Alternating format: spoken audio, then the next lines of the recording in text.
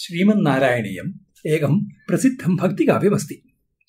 अस्य ग्रन्थस्य द्वितीयदशकस्य पूर्वार्धे भगवत्स्वरूपमाधुर्यस्य वर्णना अस्ति। उत्तरार्धे भक्तिमहत्त्वस्य वर्णना च। तत्र कर्मयोगस्य फलसिद्धिः बहुकालानन्तरं भवति। ज्ञानयोगस्य अवगमनं बहु कष्टेन भवति। ध्यानयोगस्य फलसिद्धिः अनेकजन्मानन्तरमेव भवति इति प्रस्तावः आसीत्। द्वितीयदशकस्य अन्तिमश्लोके, भक्तियोगे एतादृशी समस्या नास्ति इति उक्त्वा कविः विविधोपासनमार्गेषु भक्तियोगस्य वैशिष्ट्यं वर्णयति। अस्मिन् वर्गे द्वितीयदशकस्य दशमश्लोकस्य विश्लेषणं कुर्मः। ॐ नमो भगवते वासुदेवाय।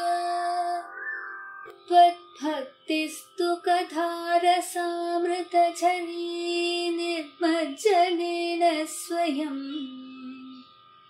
सिद्ध्यन्ती विमलप्रबोधपदवीमक्लेशतस्तन्वती सत्यसिद्धिकरी जयत्यै विभो सैवास्तु मे त्वत्पदप्रेम प्रौढिरसाद्रता द्रुततरम् वातालयाधीश्वर।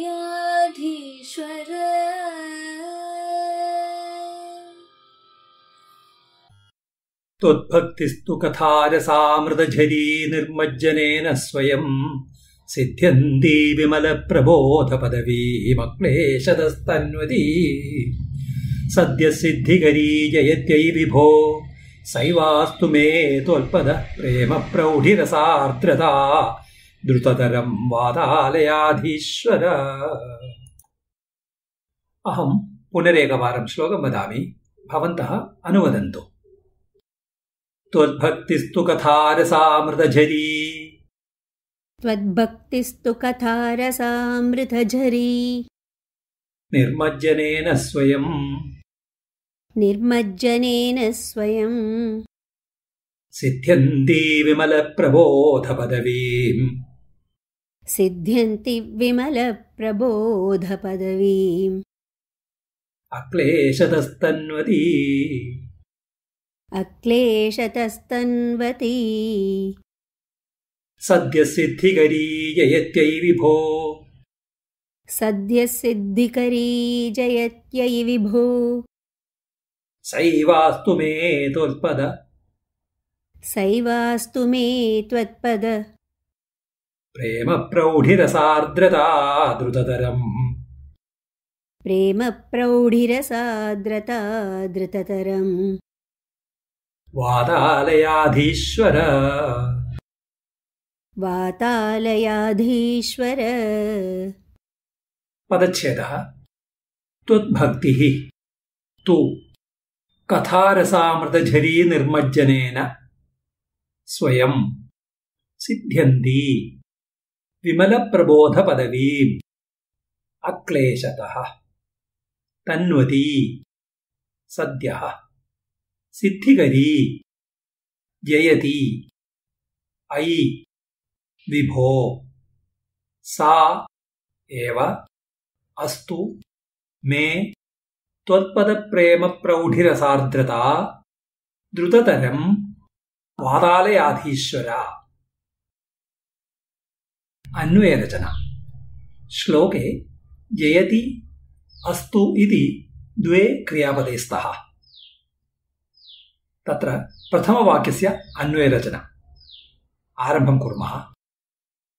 क्रियापदमस्ति जयति कर्तृपदं योजयतु। का जयति?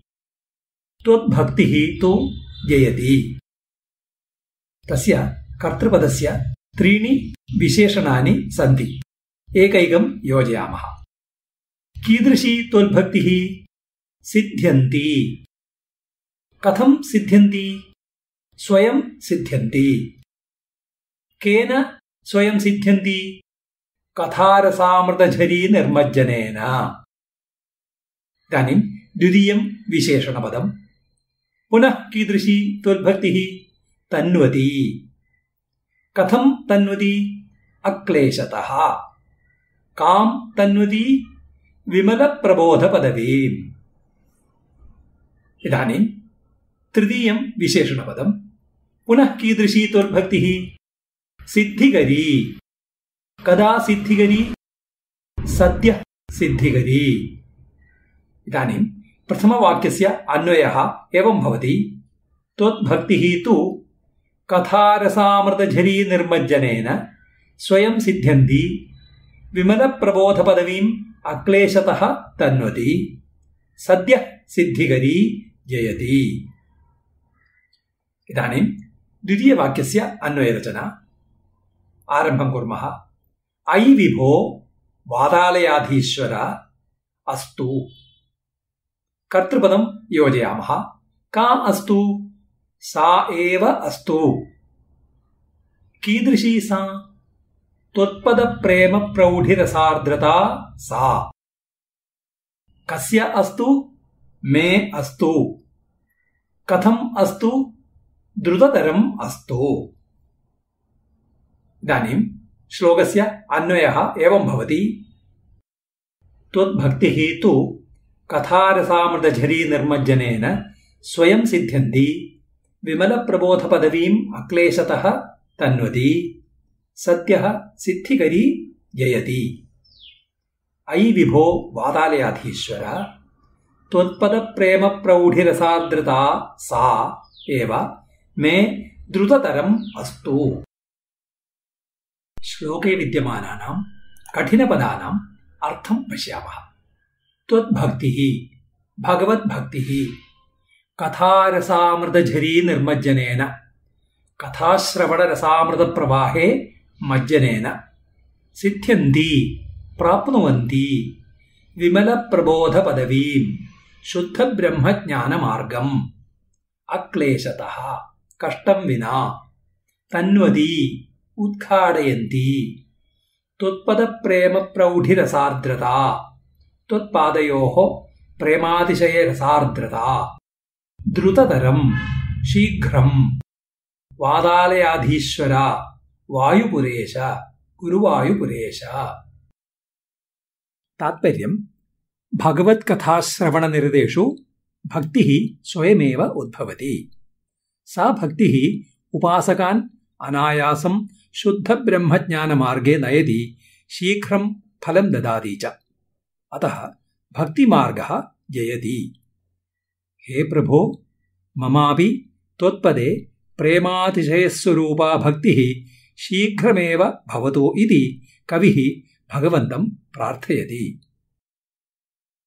श्लोकस्य अर्थ अवगमनाय टिप्पणीं पश्यन्तु यत्र सन्धिः पदपरिचयः पदविवरणं छन्दः इत्यादिविषयाणां विवरणं दत्तमस्ति पुनरेकवारं श्लोकं शृण्मः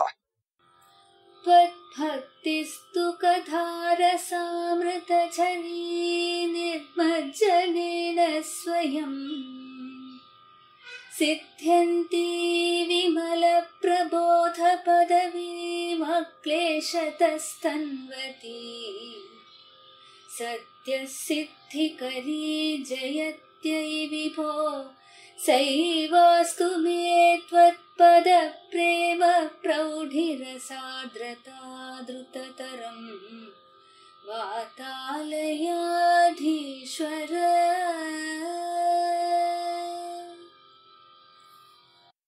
धन्यवादः। शान्तिमन्त्रम् उक्त्वा वर्गं समापयामः सर्वे भवन्तु सुखिनः सर्वे सन्तु निरामयाः सर्वे भद्राणि पश्यन्तु मा कश्चित् दुःखभाग् भवेत्। ॐ शान्तिः शान्तिः शान्तिः